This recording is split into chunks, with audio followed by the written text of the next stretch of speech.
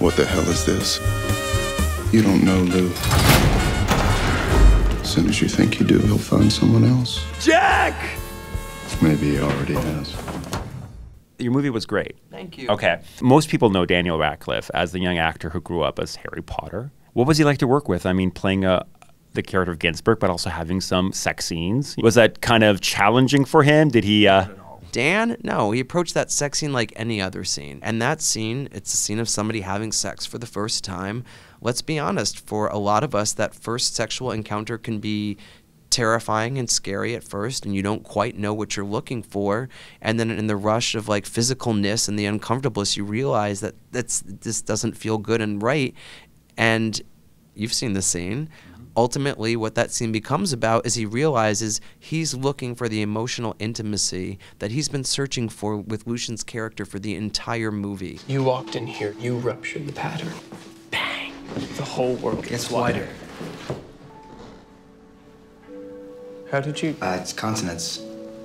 A reiteration of themes. I'm just really proud of the way that scene turned out because, you know, here's why I go into gay cinema.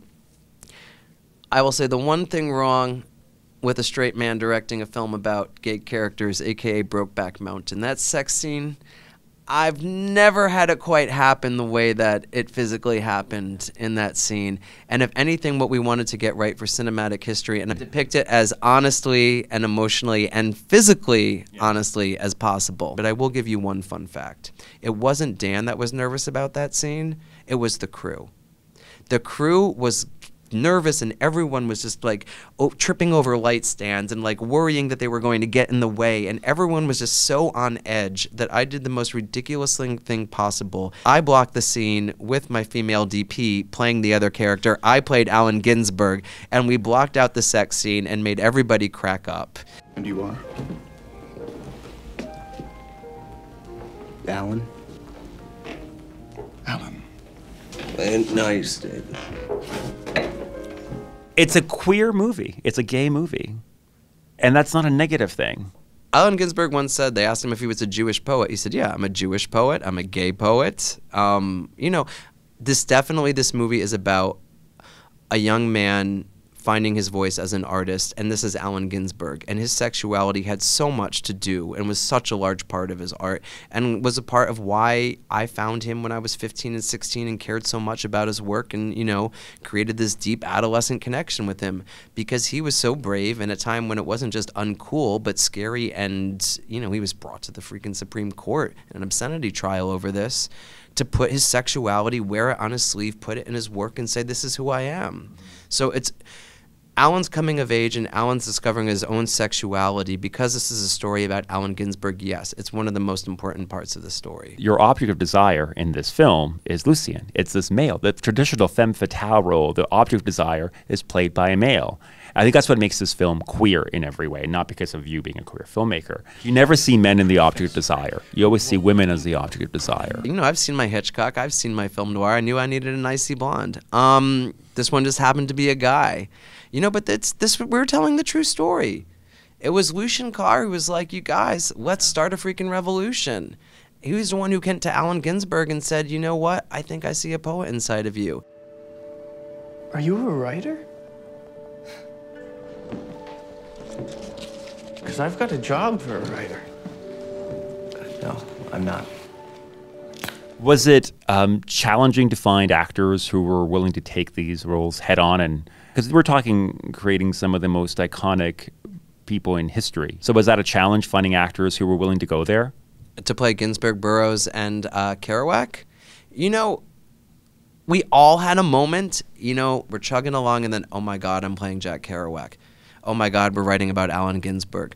And the way that I consciously reacted against that was I said, you know what? We're going to stop reading all 50 biographies from front to back. We are just going to focus on the point of them from birth up until the point where this movie ends in 1945. Because we are not doing Allen Ginsberg underline, underline, nodding and hinting to the man he's going to become later. We are doing Allen, a working class kid from Paterson, New Jersey, with an emotionally ill mother, um, who's Jewish, who doesn't know what he wants to do with his life. Maybe I'm going to be a labor lawyer. I just got into Columbia University. Oh my God, I just met this beautiful young man. Oh my God, I might be gay. That's who we're playing.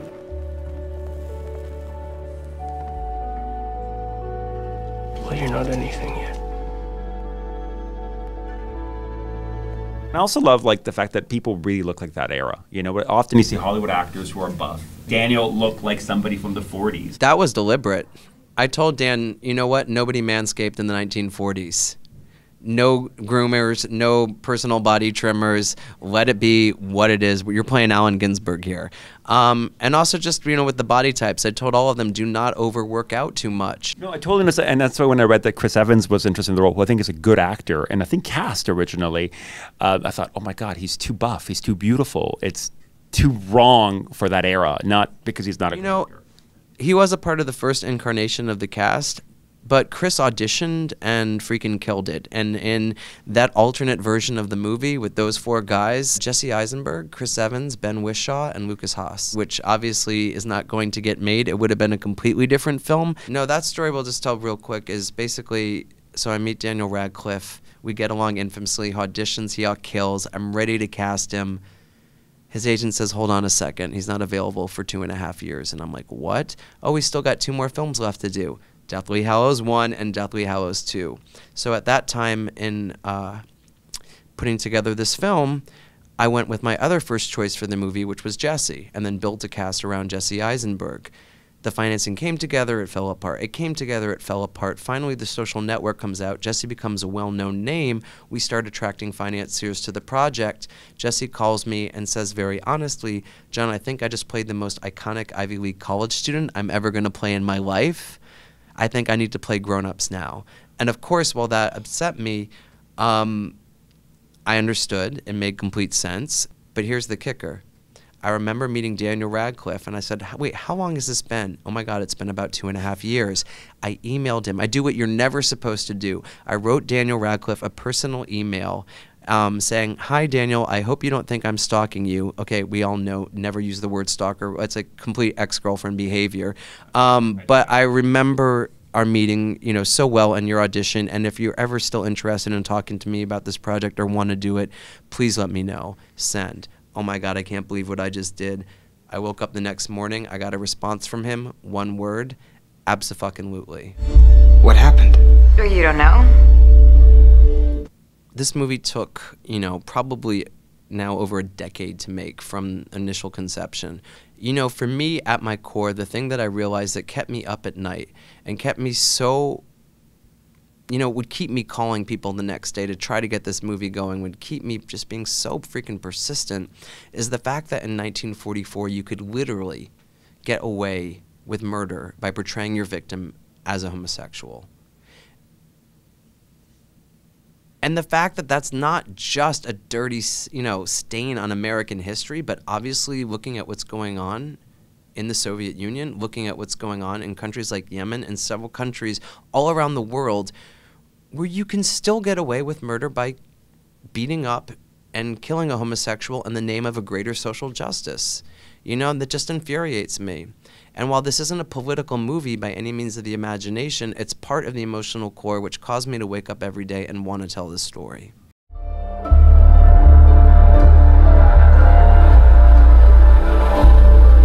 Another lover hits the universe. The circle